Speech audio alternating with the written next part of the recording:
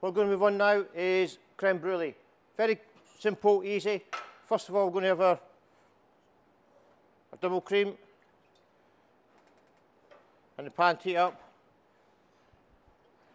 Our milk, and then into the milk, we're going to place two vanilla pods and the seeds. Okay, so just go down the centre. Scrape the seeds out, put them all in the pan with the pod, and same with the other one.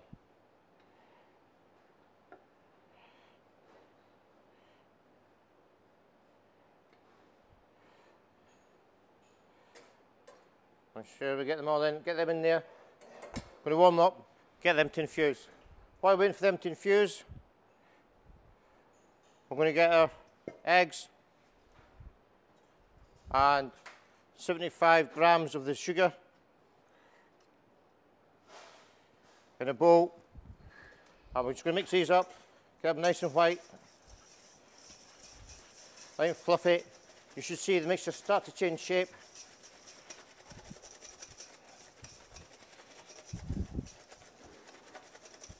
Yeah, if we want a nice light colour, so the creme brulee ends up the right colour.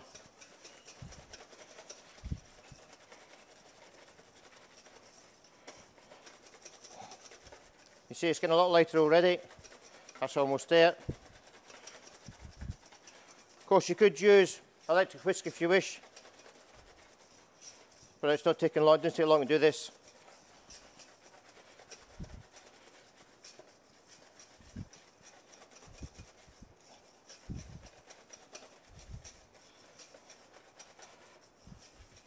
So that's that, that's done there. Just going to give the milk another few minutes. We're just going to cloth down because we're going to whisk the bowl. We're going to whisk the milk and the cream mixture into the eggs and sugar. Okay, so what we're going to do now is pour a little bit in to start with. Mix it round, don't start mixing it straight away, the eggs will start to scramble and you end up with scrambled egg in your pan. Okay, once that's in, I'll start to add the rest. Okay, and that is all in. Okay, we're going to do that now is we're going to put it through a sieve, get rid of any of the vanilla pods and the vanilla seeds. All we want to flavour, we don't want the pods or the colour.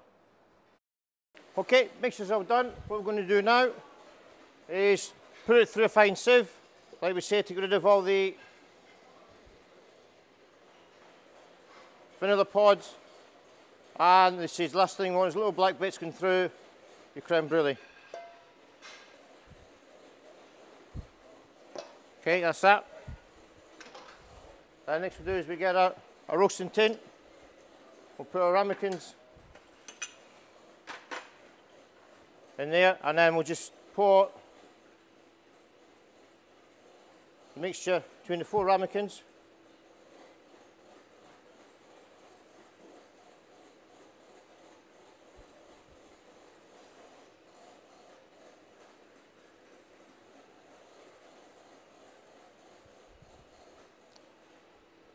Just split the mixture even between the four of them.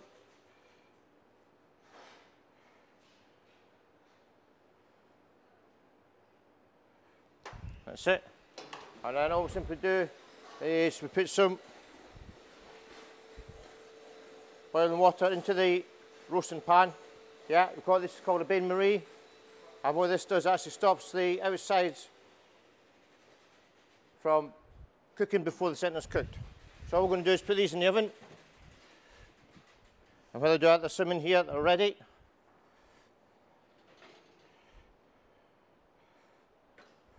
Let's check these ones out just now.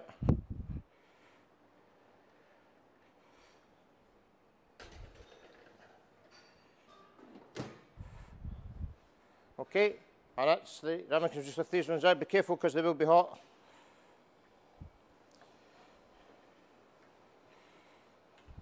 Okay, then all we do with them, quite simply,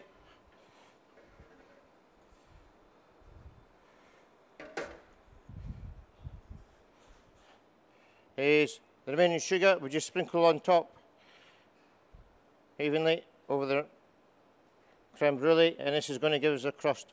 Different ways we can actually do the our topping, our sugar topping.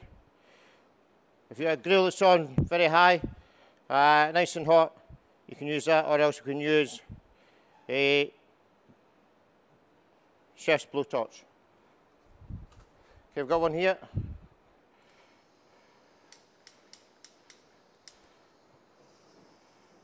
And all we do, don't want it too close or else you have to start to burn the sugar before it starts to melt and caramelise.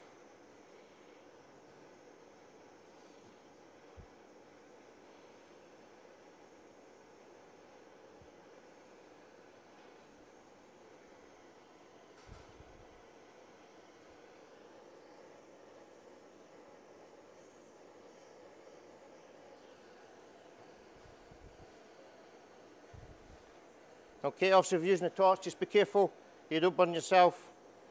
Uh, any children trying it, get, get your mums and dads uh, to do this, make sure you're safe. Last thing we want to do is burning, burning the house down.